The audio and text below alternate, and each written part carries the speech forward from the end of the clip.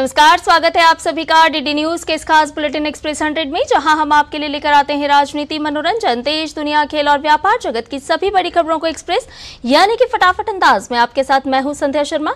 खबरें शुरू करेंगे फटाफट अंदाज में, लेकिन उससे पहले आपको सीधे लिए चलते हैं गाजियाबाद, जहाँ पर केंद्रीय मंत्री राजनाथ सिंह चुनावी रैली कर रहे हैं।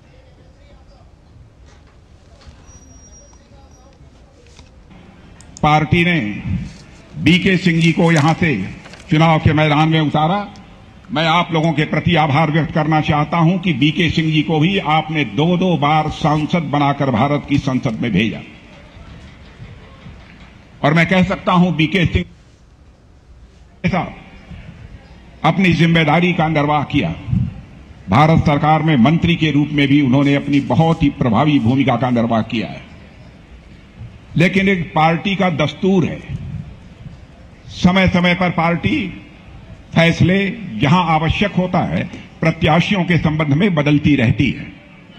यह किसी भी राजनीतिक पार्टी में होता है। आज कोई प्रत्याशी है, यह आवश्यक नहीं है कि वह कल प्रत्याशी रहेगा। कल दूसरा भी प्रत्याशी आता है। अन्य लोगों को भी अवसर प्राप्त होना चाहिए। इसलिए इस बार भारतीय जनता पार्टी की इलेक्शन कमेटी ने फैसला किया। कि गाजियाबाद संसदीय निर्वाचन क्षेत्र से किसी को चुनाव मैदान में उतारा जाना चाहिए तो श्री अतुल गर्ग को ही चुनाव के मैदान में उतारा जाना चाहिए।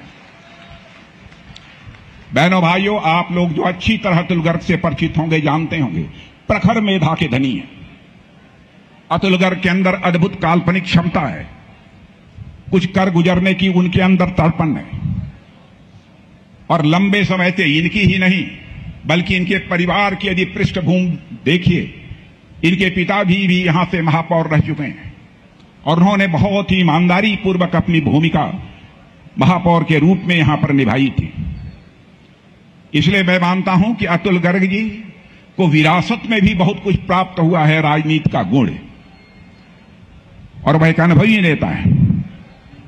इसलिए भारतीय जनता पार्टी ने उन्हें चुनाव के मैदान में उतारा है। अब हम लोग चुनाव सारे देश में लड़ रहे हैं। हमारा संकल्प है कि भारत एक विकसित भारत बनना चाहिए। ऐसे भारत का हम निर्माण करना चाहते हैं, जो भारत पूरे विश्व का नेतृत्व कर सके, ऐसे भारत के निर्माण का संकल्प लेकर हम सब अपने कदम आगे बढ़ा रहे हैं। तो अभी आप सुन रहे थे गाजियाबाद से केंद्रीय मंत्री राजनाथ सिंह को, जो कि चुनावी रैली को संबोधित कर रहे थे और वहाँ से प्रत्याशी अतुल गर्ग के चुनाव को लेकर के मतदाताओं को बात कर रहे थे। और इसके अलावा अब आपको सीधे लिए चलते हैं शमशाबाद, जहाँ पर उत्तर प्रदेश के मुख्यमंत्री योगी आदित्यनाथ संबोधित कर जो पर्व और त्योहारों पर बैन करते थे, आपकी कावड़ यात्रा नहीं निकलने देते थे। पर्व और त्योहारों के पहले कर्फ्यू लग जाया करता था। और दूसरी तरफ़, आज मोदी जी के नेतृत्व में सरकार है। न केवल कांवड़ यात्रा निकल रही है, बल्कि अयोध्या में प्रभु राम के भव्य मंदिर का निर्माण का मार्ग भी प्रशस्त करती है।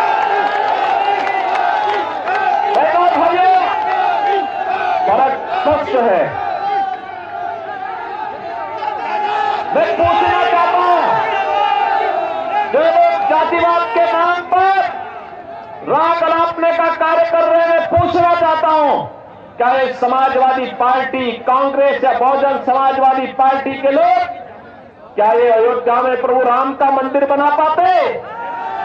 क्या ये लोग बना पाते? क्या ये गरीबों को राशन की सुविधा का लाभ दे पाते? क्या ये गरीबों को रसोई गैस का कनेक्शन दे पाते? क्या ये सुरक्षा का माहौल दे पाते। बेटी और व्यापारी को सुरक्षा देने का कार्य भी भारतीय जनता पार्टी की सरकार ने किया था। ये फतेहपुर सीकरी से ज़्यादा कौन जानता है? 2017 से पहले इस पूरे क्षेत्र में, ज़्यादातर क्षेत्र में सूर्यास्त होने के बाद थानों में भी ताले लग जाते थे। सामान्य नागरिकों की क्या स्थिति रही होगी? किसी से छुपा हुआ नहीं है। और इसलिए भाइयों बहनों, आज आप देख रहे होंगे, अपराधी पहले तो उससे युक्ति निकाली थी कि चलिए सरकार जैसे आई है, वैसे ही पिछली सरकारों की तरह हम भी वही करेंगे। लेकिन जब सरकार ने कहा, नहीं, ज़ीरो टॉलरेंस पर चलेंगे, या तो अपराध करना बंद करो, और अपराध करोगे तो उसकी कीमत चुकाने के लिए तैयार रहो। तो आगरा से अभी आप सुन रहे थे उत्तर प्रदेश के मुख्यमंत्री योगी आदित्यनाथ को, जो कि बता रहे थे कि किस तरह का माहौल यहाँ पर पहले हुआ करता था, केवल घरों में नहीं, बल्कि सूर्यास्त के बाद थानों में भी ताले लग जाया करते थे। लेकिन जब से भारतीय जनता पार्टी की सरकार आई है तो किस तरह से परिवर्तन देखने को मिल रहा है, चाहे वो रामलला का मंदिर हो, प्राण प्रतिष्ठा समारोह हो, या फिर महिलाओं के हित में उनके सुरक्षा का वातावरण तैयार करने का काम हो। और आइए अब रुक करते हैं फटाफट अंदाज में खबरों को जानने का। दिल्ली के मुख्यमंत्री अरविंद केजरीवाल की याचिका पर आज दिल्ली हाईकोर्ट में सुनवाई होगी। याचिका में केजरीवाल को प्रवर्तन निदेशालय द्वारा गिरफ़्तार किए जाने को चुनौती दी गई है। इससे पहले ईडी ने कोर्ट में दायर अपने जवाब में बताया कि आपने अरविंद केजरीवाल के ज़रिए मनी लॉन्ड्रिंग की है और यह अपराध पीएमएलए की धारा सत्तर के तहत आता है। साथ ही ईडी की ओर से दायर जवाब में कहा गया कि आम आदमी पार्टी को शराब घोटाले में आए रुपयों का सबसे ज़्यादा लाभ मिला। इन पैसों में से लगभग 45 करोड़ रुपए की नकदी का उपयोग गोवा विधानसभा चुनाव में किया गया। आम आदमी पार्टी के राज्यसभा सांसद संजय सिंह आज बेल पर रिहा हो सकते हैं। उनकी पत्नी अनीता सिंह ने कहा कि हमने संजय सिंह को अस्पताल में नियमित जाँच के लिए भर्ती कराया था। आज वे डिस्चार्ज होंगे और उसके बाद तिहाड़ जाएँगे। आप नेता गोपाल राय ने प्रेस कॉन्फ्रेंस कर बीजेपी पर निशाना साधते हुए कहा कि केंद्र सरकार तानाशाही तरीके से काम कर रही है। गोपाल राय ने 7 अप्रैल को सामूहिक उपवास का आह्वान भी किया है। केंद्रीय गृह एवं सहकारिता मंत्री अमित शाह आज पश्चिम यूपी में मुजफ्फरनगर के भाजपा प्रत्याशी के हक में रैली करेंगे। इसके बाद वह मुरादाबाद में संगठनात्मक बैठक करेंगे। वहीं रक्षा मंत्री राजनाथ सिंह गाजियाबाद में भाजपा प्रत्याशी अतुल गर्ग के नामांकन में शामिल हुए जेपी नड्डा आज इंदौर और उज्जैन में पार्टी कार्यकर्ताओं के साथ चर्चा करेंगे। इसके अलावा आज बीजेपी के प्रदेश अध्यक्ष और खजुराहो संसदीय सीट से प्रत्याशी विष्णुदत्त शर्मा पन्ना में नामांकन दाखिल करेंगे।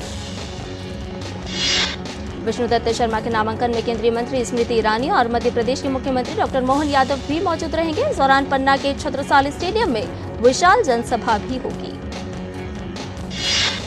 लोकसभा चुनाव की नामांकन प्रक्रिया के तहत आज राजस्थान के कोटा बूंदी लोकसभा क्षेत्र से बीजेपी प्रत्याशी और लोकसभा अध्यक्ष ओम बिरला नामांकन दाखिल करेंगे। ओम बिरला की नामांकन रैली में राजस्थान के मुख्यमंत्री भजन लाल शर्मा भी मौजूद रहेंगे। साथ ही उप मुख्यमंत्री प्रेमचंद बैरवा, कैबिनेट मंत्री किरोड़ी लाल मीणा, बीजेपी प्रदेश अध्यक्ष सीपी जोशी सहित कई बीजेपी नेता रैली को संबोधित करेंगे। राजस्थान के अलवर लोकसभा निर्वाचन क्षेत्र से केंद्रीय मंत्री भूपेंद्र यादव बीजेपी के टिकट पर चुनावी मैदान में हैं। भूपेंद्र यादव लगातार सघन चुनाव प्रचार अभियान चला रहे हैं। डीडी न्यूज़ से बातचीत में भूपेंद्र यादव ने कहा कि अलवर की जनता के मन में मोदी जी बसे हैं और मोदी की गारंटी को जन जन तक पहुँचाना हमारा संकल्प है। कांग्रेस नेता राहुल गांधी आज केरल के वायनाड लोकसभा क्षेत्र से नामांकन दाखिल करेंगे। नामांकन से पहले राहुल और उनकी बहन प्रियंका गांधी ने रोड शो किया और जनता को संबोधित किया। केरल के वायनाड से सीपीआई उम्मीदवार एनी राजा ने नामांकन दाखिल किया। इससे पहले निर्वाचन क्षेत्र में उन्होंने एक रोड शो भी किया। यहाँ उनका मुकाबला कांग्रेस पार्टी के मौजूदा सांसद और उम्मीदवार राहुल गांधी से होगा।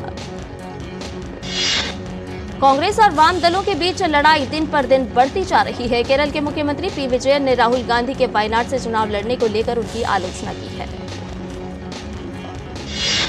यह स्थिति तब है जब पश्चिम बंगाल में वाम दल और कांग्रेस एक साथ मिलकर चुनाव लड़ रहे हैं और कांग्रेस ने कुछ अन्य राज्यों में भी वाम दलों के लिए सीटें खाली की है। कांग्रेस पार्टी के राष्ट्रीय अध्यक्ष मल्लिकार्जुन खड़गे आज यमुना पार, उत्तर पूर्वी संसदीय क्षेत्र की घोंडा विधानसभा से कांग्रेस का गारंटी कार्ड बांटकर लोकसभा चुनाव अभियान की शुरुआत करेंगे। इस बारे में दिल्ली अध्यक्ष अरविंदर सिंह लवली ने बताया कि लोकसभा चुनाव में मतदाताओं के लिए कांग्रेस अपना गारंटी कार्ड जारी करेगी, जिसे घर घर पहुँचाने की शुरुआत राष्ट्रीय अध्यक्ष खड़गे करने जा रहे हैं। मध्य प्रदेश में 26 अप्रैल को होने वाले मतदान के लिए आज कई कांग्रेस प्रत्याशी नामांकन भरेंगे। कांग्रेस पिछली हार से सबक लेते हुए इस बार नई रणनीति के साथ मैदान में है। पार्टी महासचिव भंवर जितेंद्र सिंह, प्रदेश कांग्रेस अध्यक्ष जीतू पटवारी, विवेक तनखा और अरुण यादव एक साथ आज बैतूल होशंगाबाद, टीकमगढ़ और खजुराहो से नामांकन दाखिल करेंगे। कांग्रेस नेता सचिन पायलट ने कल जोधपुर में केंद्र सरकार पर निशाना साधा। उन्होंने कहा कि केंद्र सरकार जो कर रही है, उसमें न्याय कम, बदले की भावना ज़्यादा नज़र आ रही है। उत्तर प्रदेश में समाजवादी पार्टी एक बार फिर सियासी भंवर में है। संभल, मेरठ, मुरादाबाद और रामपुर के बाद अब बदायूं में भी पार्टी को लोकसभा चुनाव के लिए प्रत्याशी उतारने में दिक्कत आ रही है। समाजवादी पार्टी के प्रत्याशी शिवपाल यादव ने बदायूं सीट छोड़ने का ऐलान किया है और अपने बेटे आदित्य यादव को बदायूं से प्रत्याशी बनाने का प्रस्ताव पार्टी प्रमुख अखिलेश यादव को भेजा है। इससे सियासी घमासान तेज हो गया है। दरअसल बदायूं सीट पर सपा प्रत्याशी दूसरी बार बदला जाएगा। पहली लिस्ट में धर्मेंद्र यादव को टिकट मिला था। दूसरी लिस्ट में अखिलेश यादव ने शिवपाल यादव को सपा प्रत्याशी बनाया था। छत्तीसगढ़ में कोरबा के वर्तमान कांग्रेस सांसद ज्योत्सना महंत के खिलाफ भाजपा कार्यकर्ताओं का प्रदर्शन। पोस्टर में बीजेपी कार्यकर्ताओं ने कोरबा सांसद को लापता बताया। वहीं कांग्रेस की कोरबा से लोकसभा प्रत्याशी ज्योत्ना चरण दास महंत का कहना है कि भाजपा की नीति है, फूट डालो, बदनाम करो। बिहार में पूर्णिया लोकसभा सीट इन दिनों हॉट सीट बनी हुई है। बीमा भारती आज अपना नामांकन दाखिल करेंगी। उधर कांग्रेस नेता पप्पू यादव भी चुनाव लड़ने पर अड़े हुए। हैं तमिलनाडु में एआईएडीएमके के तिरुचिरापल्ली लोकसभा उम्मीदवार पी करुपैया ने श्री सैंडल मरियम्मन मंदिर में पूजा की और अपना चुनाव अभियान शुरू किया। पूर्व मंत्री विजय भास्कर भी करुपैया के समर्थन में प्रचार करने पहुँचे। भारतीय पुरातत्व सर्वेक्षण की एक टीम लगातार तेरहवें दिन सर्वेक्षण जारी रखने के लिए आज सुबह मध्य प्रदेश के धार ज़िले में स्थित भोजशाला परिसर पहुँची। गौरतलब है कि मध्य प्रदेश उच्च न्यायालय के निर्देश के बाद एएसआई ने 22 मार्च को भोजशाला परिसर में पुरातात्विक सर्वेक्षण शुरू किया था। यूएन में भारत के स्थायी प्रतिनिधि रुचिरा कंबोज ने संयुक्त राष्ट्र में कहा कि भारत में कम होती गरीबी और अंतर्राष्ट्रीय मिलेट वर्ष का नेतृत्व करने में भारत की प्रगति, वैश्विक खाद्य सुरक्षा के प्रति हमारी प्रतिबद्धता को उजागर करती है। रुचिरा कंबोज ने संयुक्त राज्य जनसभा में आज प्रधानमंत्री नरेंद्र मोदी का संदेश पढ़ा। इस संदेश में प्रधानमंत्री ने सतत विकास और वैश्विक एकता के मुद्दे पर ज़ोर दिया है। उत्तर प्रदेश के पुलिस भर्ती परीक्षा पेपर लीक मामले में मास्टरमाइंड को स्पेशल टास्क फोर्स ने गिरफ़्तार कर लिया है। मास्टरमाइंड का नाम राजीव नयन मिश्रा बताया जा रहा है। पेपर लीक मामले के मास्टरमाइंड को एसटीएफ ने नोएडा से गिरफ़्तार किया है। आरोपी की पहले भी पेपर लीक में संलिप्तता रही है और वह इसी तरह के मामलों में पहले भी जेल जा चुका है। छत्तीसगढ़ के बीजापुर के जंगल में हुई मुठभेड़ में अब तक तेरह नक्सलियों के शव बरामद हुए हैं। साथ ही सुरक्षा कर्मियों ने इंसास एलएमजी और सेवन जैसे ऑटोमेटिक हथियारों भी को भी बरामद किया है। महाराष्ट्र के छत्रपति संभाजी नगर में एक दर्दनाक हादसा सामने आया है। संभाजी नगर के छावनी इलाके में स्थित एक घर में रात में आग लग गई, जिसके कारण सात लोगों की मौत हो गई। कपड़े की दुकान में लगी आग इतनी भीषण थी कि एक ही परिवार के सात लोगों की मौत हो गई। जानकारी के अनुसार मारे गए सात लोगों में तीन महिलाएँ, दो बच्चे और दो पुरुष शामिल हैं। फ़िलहाल सभी शव को छत्रपति संभाजी नगर के सरकारी अस्पताल पहुँचाया गया है, जहाँ हादसे की जाँच जारी है।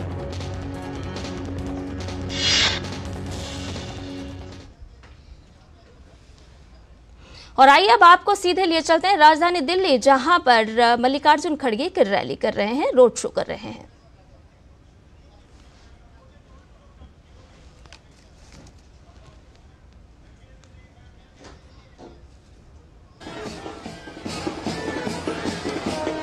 तो घर घर जाकर इस अभियान की शुरुआत मल्लिकार्जुन खड़गे करते हुए। नई दिल्ली से इस अभियान की शुरुआत।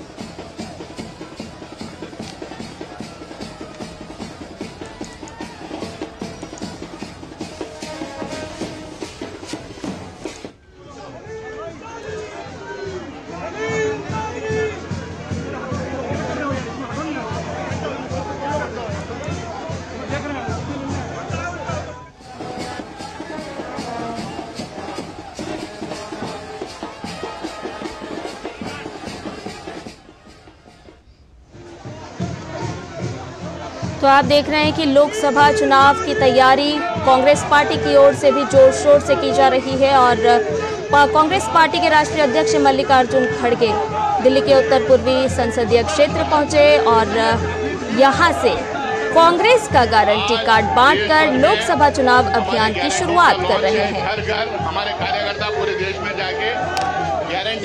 ये है कांग्रेस का गारंटी कार्ड जो घर घर बांटा जा रहा है। और इस मौके पर दिल्ली अध्यक्ष अरविंदर सिंह लवली भी साथ में मौजूद। कांग्रेस पार्टी के कई कार्यकर्ता साथ में मौजूद।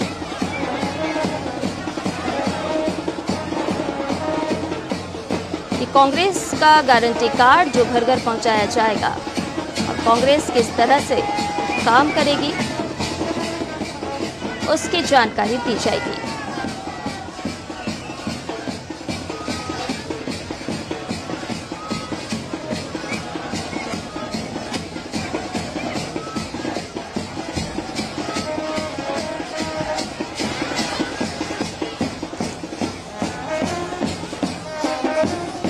तो लोकसभा चुनाव को लेकर सियासत गरमाई हुई है। हर जगह हर दल अपने अपने जीत के दावे कर रहा है, जीत के वादे कर रहा है और उसी कड़ी में भारतीय जनता पार्टी जहाँ चुनावी रैली कर रही है तो वहीं कांग्रेस भी घर घर जाकर अपने कैंपेन चला रही है, अभियान चला रही है और उसी की कड़ी में ये कांग्रेस के राष्ट्रीय अध्यक्ष मल्लिकार्जुन खड़गे, साथ में तमाम कांग्रेस के नेता और कार्यकर्ता आज डोर टू डोर कैंपेन की शुरुआत कर रहे हैं।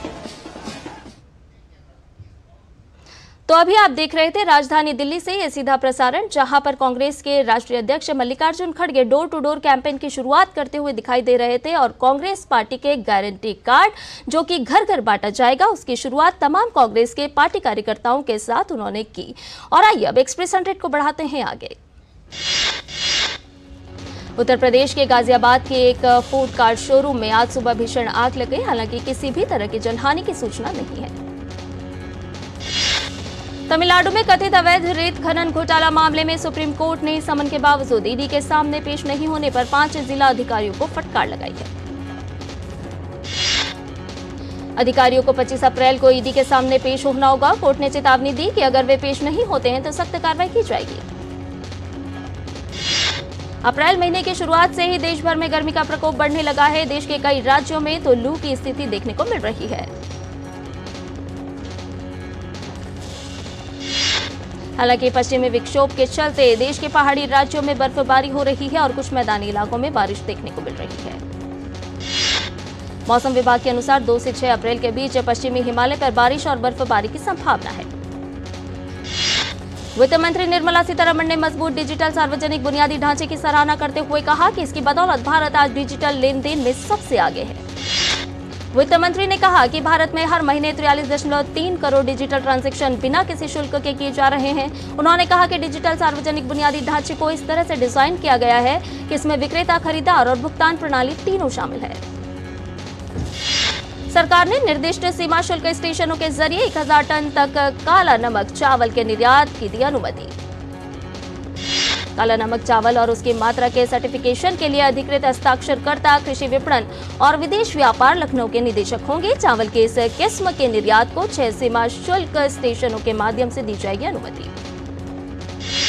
इस साल भीषण गर्मी पड़ने से बिजली की मांग के रिकॉर्ड स्तर पर पहुँचने के अनुमानों को देखते हुए सरकार ने ताप विद्युत संयंत्रों को बिजली उत्पादन के लिए अग्रिम योजना बनाने और गर्मी के मौसम में रखरखाव कार्यों से बचने का दिया निर्देश। बिजली मंत्रालय का अनुमान है कि इन गर्मियों के दौरान देश में अधिकतम मांग 260 गीगावाट तक पहुँच सकती है, जो पिछले साल सितंबर के रिकॉर्ड 243 गीगावाट से अधिक है। भारतीय प्रतिस्पर्धा आयोग ने एक्सिस बैंक लिमिटेड द्वारा Max life insurance company limited के 14 करोड़ 25 लाख रुपए के इक्विटी शेयरों की सदस्यता को दी मंजूरी। एक्सिस बैंक ने इससे पहले एक सौ प्रति शेयर पर मैक्स लाइफ इंश्योरेंस में अतिरिक्त 6 प्रतिशत हिस्सेदारी हासिल करने का रखा था प्रस्ताव।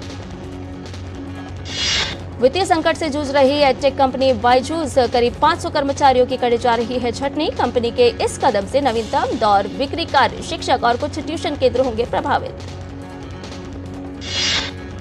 बाइजूस कंपनी का कहना है कि कारोबार पुनर्गठन के अंतिम दौर के तहत की जा रही है छटनी। कंपनी यह छटनी अगले 15 से 20 दिनों में शुरू करेगी। इस छटनी से सेल्स, शिक्षक और कुछ ट्यूशन केंद्रों से जुड़े कर्मचारी होंगे प्रभावित।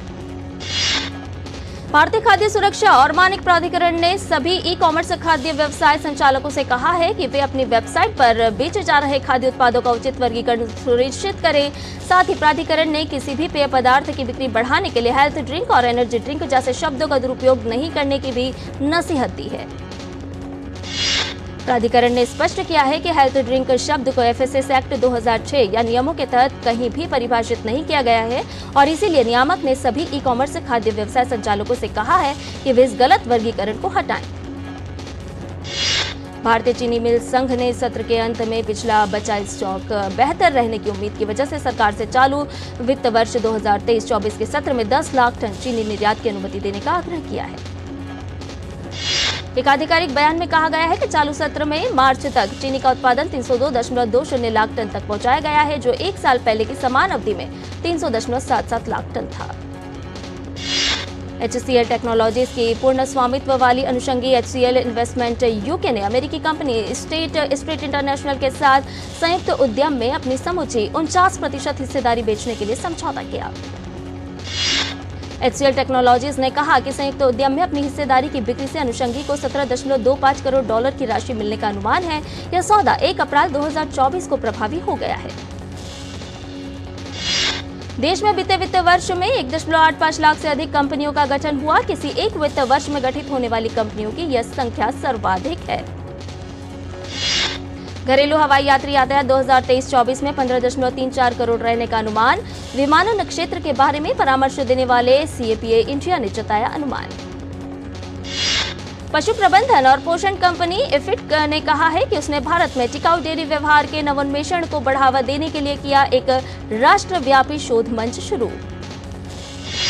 खुदरा निवेशकों की मज़बूत भागीदारी और संस्थागत निवेशकों के दमदार निवेश की बदौलत बीते वित्त वर्ष 2023-24 के दौरान छिहत्तर कंपनियों ने आईपीओ के ज़रिए बासठ करोड़ रुपए जुटाए। विदेश मंत्री डॉक्टर एस. जयशंकर ने कहा कि भारत संयुक्त राष्ट्र सुरक्षा परिषद में स्थायी सीट लेकर रहेगा। साथ ही दुनिया का भी यह मानना है कि भारत को यह दर्जा मिलना चाहिए। डॉक्टर एस जयशंकर ने कहा कि आज भारत कई देशों के लिए मॉडल बन गया है। भारत सिर्फ़ काम करने वाला लोकतंत्र नहीं है, बल्कि दुनिया के लिए प्रेरणा देने वाला लोकतंत्र भी है। ताइवान की राजधानी ताइपे में सात दशमलव सात तीव्रता का ज़बरदस्त भूकंप, हुआलिन में कई इमारतें गिरी, जापान और फिलीपींस में सुनामी की चेतावनी के बाद ओकिनावा में विमान सेवा पर रोक। पूर्वी ताइवान के तट पर आए भूकंप के मद्देनजर ताइवान में रहने वाले सभी भारतीय नागरिकों की सहायता के लिए भारत ताइपे एसोसिएशन ने जारी की आपातकालीन हेल्पलाइन नंबर। सभी नागरिक मदद के लिए mobile number zero nine zero five two four seven nine zero six और email ID AD dot I T at the rate M E dot G O V dot in पर कर सकते हैं संपर्क। इसराइल और हमास के बीच Gaza में युद्ध जारी। इस बीच एक इसराइली हवाई हमले में सात सहायता कर्मियों की हुई मौत। ऑस्ट्रेलियाई प्रधानमंत्री एंथनी अल्बनीज ने की हमले की पुष्टि। ऑस्ट्रेलियाई प्रधानमंत्री अल्बनीज ने फ्रैंकॉम की मौत के लिए इसराइली सरकार को जवाबदेह माना है। उन्होंने कहा कि फ्रैंकॉम गजा में चैरिटी के लिए स्वेच्छा से काम कर रहा था।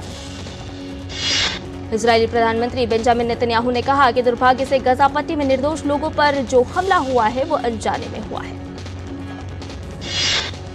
एक आधिकारिक बयान में कहा गया कि अमेरिका और चीन के बीच द्विपक्षीय संबंधों और आपसी संचार को मज़बूत करने समेत कई क्षेत्रीय और वैश्विक मुद्दों पर चर्चा करना ज़रूरी है। इस्तांबुल में एक नाइट क्लब में मरम्मत कार्य के दौरान आग लगने की घटना में उनतीस लोगों की मौत और कई लोग बुरी तरह से जल गए।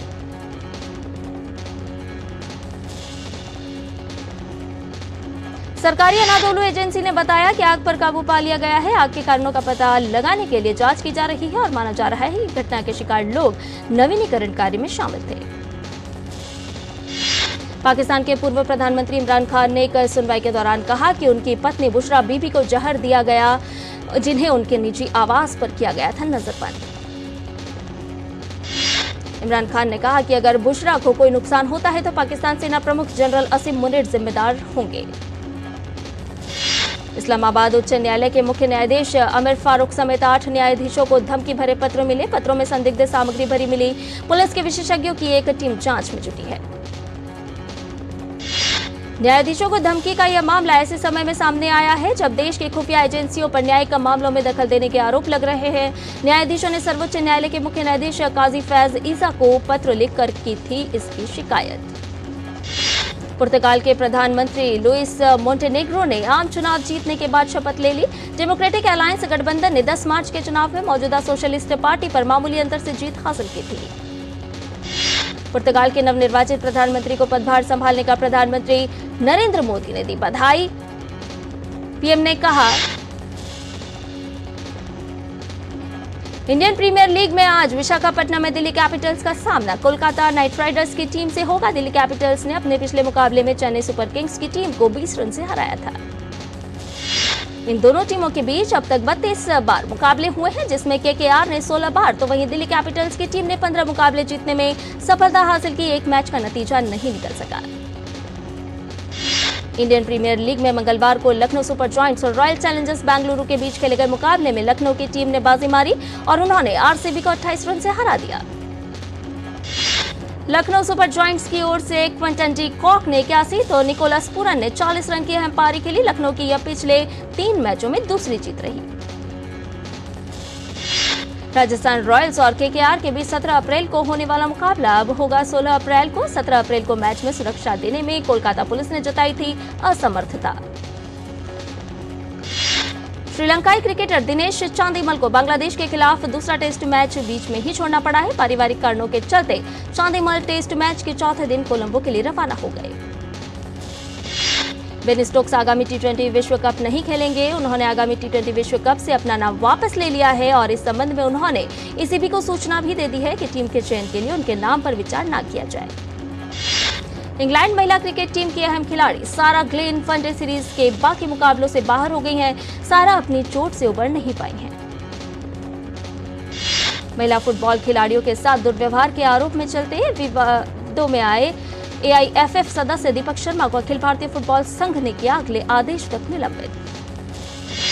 मोरक्को में खेली जा रही टेनिस की मार्केश ओपन में भारत में सुमित नागल ने शानदार खेल दिखाते हुए खुद को अंतिम 16 में पहुँचा दिया है। नागल ने मंगलवार को फ्रांस के कैरंटीन माउंटेड को चार छह छह तीन छह दो से शिकस्त दी।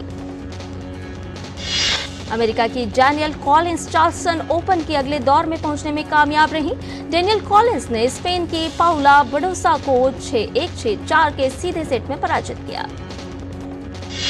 प्रीमियर लीग में न्यूकासल यूनाइटेड और एवर्टन के बीच खेला गया मुकाबला एक एक के बराबरी पर हुआ खत्म। न्यूकासल की ओर से इसाक ने किया गोल। वहीं वेस्ट हैम और टॉटनहैम हॉटस्पर के बीच भी खेला गया मुकाबला एक एक की बराबरी पर हुआ खत्म। सऊदी प्रो लीग में अल नस्र की आभा पर आठ शून्य की धमाकेदार जीत जीत में चमके क्रिस्टियानो रोनाल्डो, लगाई हैट्रिक। वहीं अल हिलाल के भी जीत का दौर जारी। अल ओखदूद को तीन शून्य से दी मात, लगातार रिकॉर्ड इकतीसवीं जीत दर्ज की। करीना कपूर, तब्बू और कृति सेनन की फ़िल्म क्रू ने पाँच दिन में दो दशमलव सात छह करोड़ रुपए कमाए। इसके साथ ही रिलीज़ के पाँच दिनों में क्रू ने डोमेस्टिक बॉक्स ऑफ़िस पर छत्तीस दशमलव चार छह करोड़ का बिज़नेस किया। बारहवीं फेल एक्टर विक्रांत मैसी का आज जन्मदिन है। विक्रांत ने 14 साल पहले अपने करियर की शुरुआत टीवी के छोटे पर्दे से की थी। झलक दिखला जा 11 की विनर मनीषा रानी ने हाल ही में बिहार में प्रॉपर्टी खरीदी है। इस बात की जानकारी मनीषा ने खुद अपने ब्लॉग के ज़रिए फैंस को दी। और इसके साथ ही एक्सप्रेस न्यूज़ में फ़िलहाल इतना ही। हमें दीजिए इजाज़त। नमस्कार।